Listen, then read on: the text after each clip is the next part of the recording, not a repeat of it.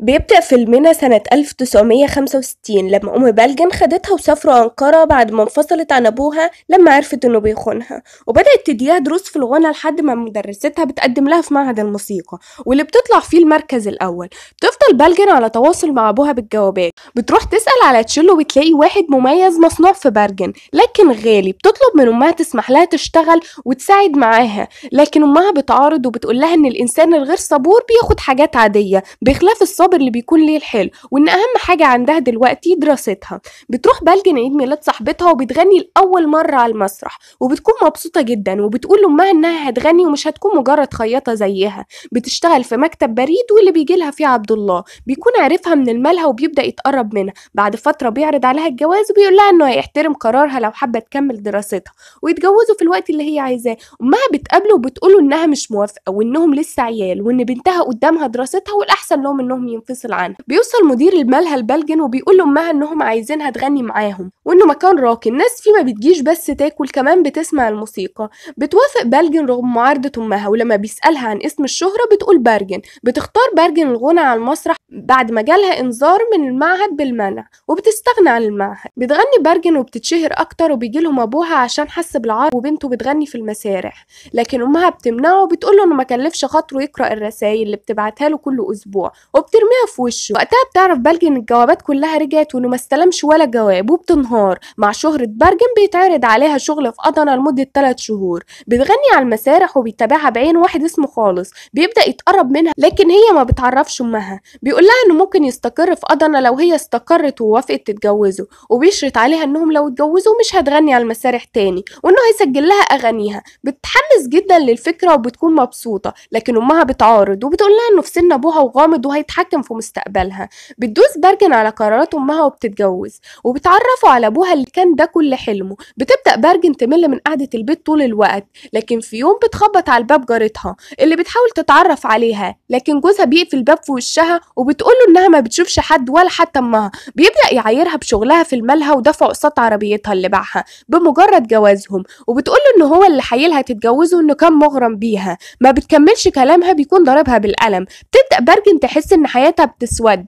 بتكلم أمها من عند جارتها وما بتحسسهاش بأي حاجة وبتقول لها قد إيه هي مبسوطة. بتعدي فترة وبتبدأ برجن تتسائل جوزها بيشتغل إيه بيغيب الأسابيع فين وبيخرج بلبسه ويرجع بغيره إزاي؟ بعد ما بيطلب منها تحضر العشاء بتقوله إنها هتزور أمها ومش محتاجة إذنه بيسيبها تكمل كلامها وبيقوم يكمل عليها. بتخبط أمها على الباب لكن برجن ما بتفتحش وما بتحبش أمها تشوفها بالمنظر ده. بتوصل للمكان اللي بيلعب فيه قمار وبتهدده عشان تشوف بنتها لكن هو بيتكلم معاها باستخفاف آخر اليوم بيصالح برجن بعقد ألماس وبيقول لها إنه اتعصب وإنه إنسان وبيغلط وبيوعدها مش هيرفع إيده عليها. بيخرجوا يتعشوا بره والناس بتطلب منها تغني. لما بتروح بتعاني الويلات للمرة اللي ما تعرفش عددها طبعا. بتروح لنادرة اللي كانت رقاصة معاها في الملهى ولما بتشوف منظرها بتتعصب جدا. وبتقول لها إنه كذب عليها وإنه متجوز ومخلف وإنه هو متجوزها بعقد مزيف. بترجع برجن أنقرة لأمها وبتغني على المسارح تاني. ولما بيموت أبوها بتضطر تروح مرسن وهناك بيقابلها خالص وبيطلب منها فرصة تانية. وبيوعدها يعمل لها فرح أكبر. وهيوري الناس قد إيه بيحبها. بيحصل وبترجع برجن لأمها وأخواتها فستان الفرح. وبتقول لها إنهم اتجوزوا. أمها بتنهار وبتقول لها إنه ضيع شبابها. مستحيل تسمح بإن ده يتكرر. لكن برجن بتقول لها إنها هتعرف تحمي نفسها. في الجنينة برجن بتقول لجوزها إنها احتمال تكون حامل. بيفرح على غير المتوقع وبيقول لها إنه مش عايز غير بنت حلوة شبهها. في اللحظة دي بتقع الكرة على السفرة وبيكون حادفها شوية عيال وهم بيلعبوا.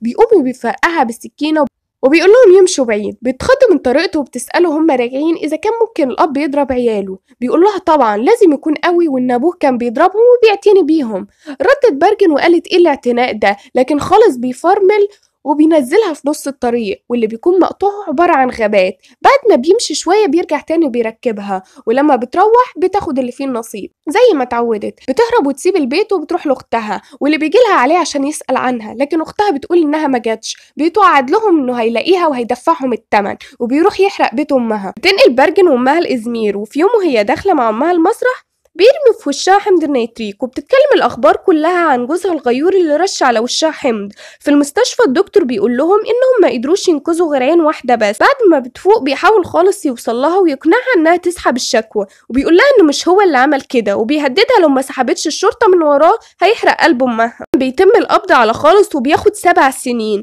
بتفك برجن الشاش وبتنهي مدة حجزها في المستشفى. الدكتور بيقول لها إنها محتاجة عمليتين وإن فترة شفاها هتاخد على الأقل سنتين. بترجع برجن للمسرح تاني وبتطلع لأول مرة بعد ثلاث سنين انقطاع وهي مغطية عين. بتبدأ تسجل أغانيها بمساعدة الراجل اللي شجعها على الغنى واتشهرت بين الناس بشعرها اللي مغطي عين من عيونها وبتتكرم على ألبومها العالمي امرأة الأحزان وده الاسم اللي اتشهرت بيه وقتها. فقدنا بيكون ليها حفلة وأثناء تسليمها على الجمهور بيجي شخص وبيصيبها بسكينة في رجليها.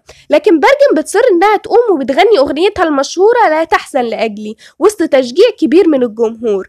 بعد خروج خالص من السجن بيهدد برجن بأمها وبيطلب منها تتصور معاه قدام الصحافة عشان دي سمعته وبرجن بتوافق عشان مش حابة تعاني تاني. بتقابل برجن عبد الله وبيحكي لها سبب انفصاله عنها زمان وبيطلب منها تسامحه. بتعاتب أمها وبتقول لها إنها لو كانت اتجوزت عبد الله كانت هتبقى مبسوطة وما كانتش هتعاني لمجرد إنها تحميها. بس أمها بتقول لها بحزن إنها كانت شايفة إن ده الصح وقتها وإنها ما بتتمناش في حياتها قد إنها تشوفها مبسوطة. في العربية خالص بيقول إنها عاهرة توسلت له يتجوزها وقالت له هتسيب الغنى عشانه واستغلته وإن أمها هي السبب في كل ده وهي اللي ممشياها في المسارح. بيروح لها الأوتيل وبيطلب منها تسامحه وبيقول لها ترجع معاه لكن هي بتقف في وشه وبتقول له إن كفاية عليها معاناة لحد النهاردة بتكون الشرطة على الباب فبيمشي.